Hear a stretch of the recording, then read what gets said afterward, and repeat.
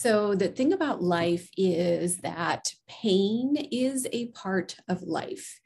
Pain is a part of life, as is pleasure. We have to have pleasure to know what pain is, and vice versa, right? We have to have pain to know what pleasure is. And yet, we as human beings, we basically spend most of our lives trying to avoid pain and trying to move towards pleasure right? Even though both are part of life. And so we can create elaborate, elaborate external ways of avoiding pain. And we can even begin to come up with more and cleverer ways of avoiding pain. So think about so many different ways that we might be avoiding certain pains, whether they're little or big. So it could be overworking and just staying overly busy. That's one of the most common and well accepted ways of avoiding pain is overwork. In fact, we applaud it when someone is just too busy to be able to slow down, to be able to think for themselves, right? And so that can actually create a lot of suffering, like so much of how we create our own suffering.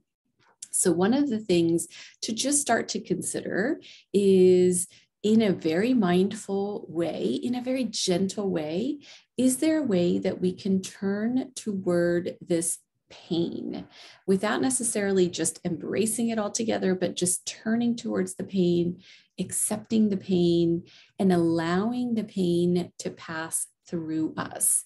Because either way, whether it's pleasure or pain, that is all temporary.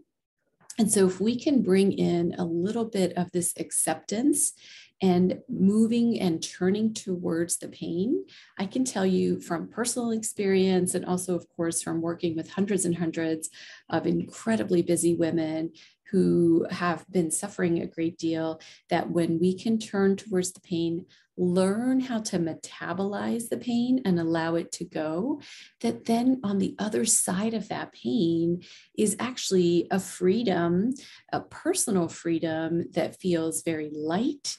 It can really bring in more joy. It can bring in better relationships in our lives, better relationships with ourselves, more focus, even more productivity, if that's what you're looking for. But it does require some amount of slowing down to look at the pain. And so in my group program, The Power Within, this is the exact work that we do, and it is so beautiful. So I help really busy women um, through a variety of different techniques. We spend actually two full weeks out of our 12 weeks working on just this in how can we accept the pain, metabolize the pain, particularly if it's emotional well-being. We have a six step method that we go through. And when we begin to implement that, and always we start with really small steps, we start with the small pains and then we can build up from there.